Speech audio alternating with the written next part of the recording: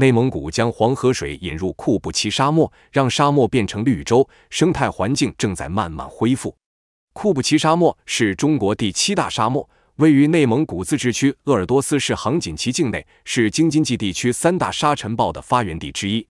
沙漠的西部是阿尔泰山，北部是阴山，南部是黄河，东部是呼和浩特市，总面积差不多有一点八六万平方公里。这个沙漠的危害可不小。以前京津冀地区一到秋冬就会刮起满天黄沙，只要一天的时间，地上就能积起一毫米厚的细沙。现在北京的蓝天越来越多了，沙尘暴天数越来越少。这其中的功劳，除了三北防护林之外，还与杭锦旗政府实行的一项工程有关。究竟是怎样一个工程改变了库布齐糟糕的生态环境？针对这个死亡之海，人们做出了哪些努力呢？库布齐沙漠处在黄河几字湾的河套平原上，意为弓上的弦。大约在三千年前，这里曾森林密布，水草丰美，诞生了我们熟悉的草原文明朔方郡故城，对我国研究汉代军事政治有着非常重要的意义。但因为处在多风口的交汇点，在几千年的时间里，干冷风吹和黄河冲积物、红积物的堆积，使得库布齐的森林植被渐渐被破坏。大量沙源裸露，环境健康每况愈下。除了自然因素，人们对库布齐的过度开垦放牧也是它逐渐荒漠化的原因之一。古人没有系统的科学观念，即便想要进行挽救，也无济于事。自然原因加上千年的过度农垦，库布齐昔日的繁荣渐渐褪去，成为了死亡之海。风沙也在一步步侵扰着周围居民的生活，直至能够随着大风卷到八百公里以外的北京城。上世纪五十年代左右，大风裹挟着泥沙不断扩张势力，每年都会向前推进数十米，生态环境非常糟糕。到八九十年代，黄沙刮进北京，每到秋冬之际，京津冀必定是空气污浊不堪，一天时间便可以积累出一层细沙。不管是对牧民、农民，还是城市居民来说，库布齐的狂沙都给他们带来了生活影响、健康影响。严重时还会让无数庄稼牲畜受灾，遭受到巨大的经济损失。从新中国成立初期到新世纪，国家、地方和个人为治理黄沙付出了诸多努力，但始终没能取得大规模的成效。除了沙漠与干旱，黄河一带还会发生凌汛决堤灾情，水势凶猛，让黄河两岸人民饱受其害。解放以前。黄河几乎年年都会发生决口事件，淹没了附近很多村庄。这让鄂尔多斯市杭锦旗政府想到了一个好点子，这就是引黄入沙这项工程的由来。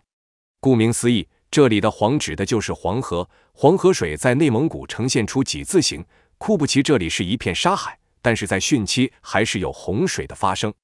当地政府正好利用了汛期的洪水，让地方生态环境逐渐的恢复。经过引黄入沙。不仅能让杭锦旗的人民不再面临凌汛时期黄河水随时有可能冲出堤坝的险，减免杭锦旗政府为修筑堤坝投入的开支，也能够改善居住在库布齐沙漠附近的居民的环境，将库布齐沙漠的土地资源利用最大化。引黄入沙这四个字听起来似乎很简单，但引黄入沙生态环境保护工程真的好实施吗？首先，在黄河主干道周围挖渠。这些河渠在平时没有流动的活水，当汛期来临时，黄河水暴涨，洪水漫过人工渠就灌进了沙漠里。库布齐沙漠沟壑被洪水填充后，就形成了一个个大小不一的沙塘。这些沙塘里的水可以给当地牧民圈养的牲畜用。整个工程分为两期，库布齐沙漠引黄入沙工程的立项开始于一九九九年。当时，鄂尔多斯市政府委托专业机构进行工程规划设计，经过多年的调研和论证，最终确定了工程的总体方案和布局。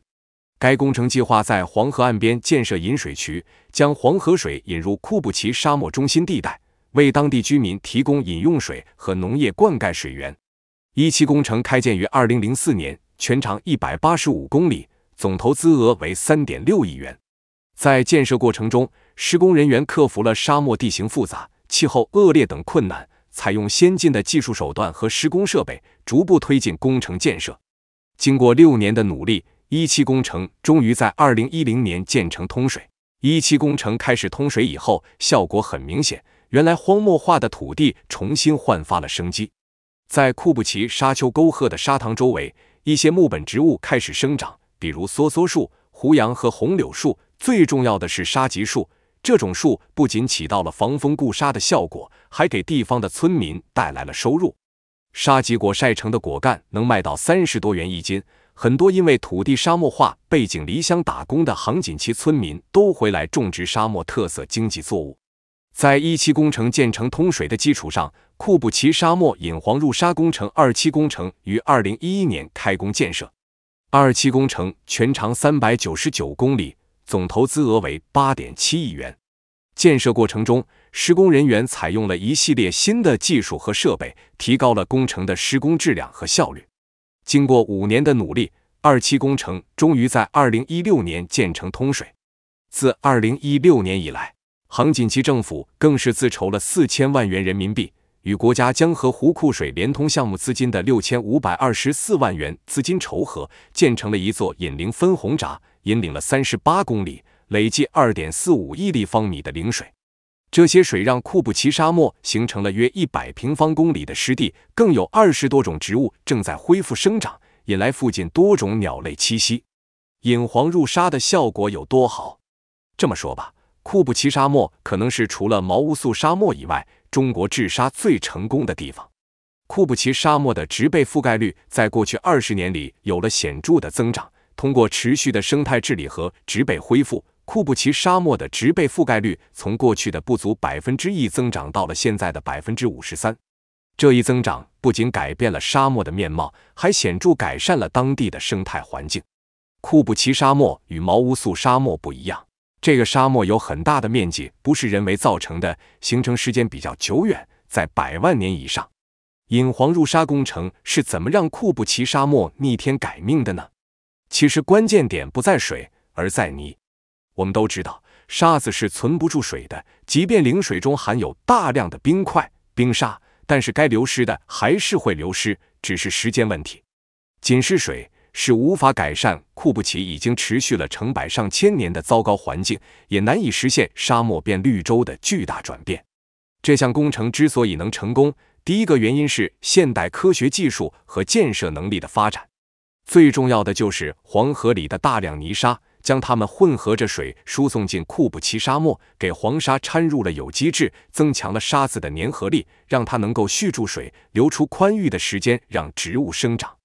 原来抓在手上黄沙能从指缝中溜走，现在库布齐沙漠里的土能捏成一团，这才是关键。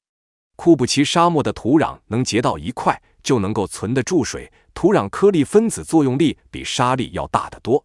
专家通过测量发现，库布齐沙漠周边的有机质土层正在变深。二零二零年，库布齐已经成为世界荒漠化治理的典范。沙海中的绿色一片连一片，区域沙尘天气竟然比过去二十年减少了百分之九十五。这也是为什么最近这些年京津冀地区蓝天越来越多的原因之一。到今天，库布齐沙漠已经和过去判若两人，取而代之的是一片生机盎然，很多当地人也因此改善了生活。这项引灵治沙，使很多的内蒙古的居民不必背井离乡外出谋生，因为由于水土资源改善以及水体涵养程度上升，带来了新的经济发展机遇。过去，当地人依赖售卖果树、果实等初级农业产品，现在有了加工企业、商贸公司的入驻，给当地创造了更多的就业岗位，让内蒙古人在家乡就能够获得很好的收入。其实，杭锦旗治沙不仅有这一项工程，植树造林、禁止过度放牧、改变当地的羊种，从山羊变成放绵羊，这些辅助措施也很重要。治沙是一个系统性的工程。黄河水在河道沟壑里澄清以后，还可以充当工业用水。目前，杭锦旗政府在积极的招商引资，期望改变当地的产业机构。黄河几字口三十多万平方公里的土地正在悄然的发生改变。当地村民不需要背井离乡南下打工了。引黄入沙工程真是神来之笔，整个引黄入沙工程花费不到十五亿，却改变了一个地方的命运。当然，这也与库布齐沙漠独特的地理位置有关，天时地利人和全占了，成功是必然的。总结来说，库布齐沙漠引灵治沙总工程的彻底竣工花费了二十五年的时间。其中所要克服的气候问题、沙土地理问题以及设备、经济等问题多如牛毛。但正是这二十五年的苦于难采，造就了治沙典型，其牛气程度甚至惊动了联合国。二零一二年，库布齐沙漠治沙成为典范，受到联合国嘉奖，被列为里约加二十峰会重要成果。现在，库布齐沙漠向世人展现了其欣欣向荣的一面，其植被覆盖率几乎从零起步发展到现在的百分之五十三。绿植河水源迎来了天鹅、野兔的繁衍生息，库布齐沙漠仿佛穿越回三千多年前的西周，又开始热闹起来了。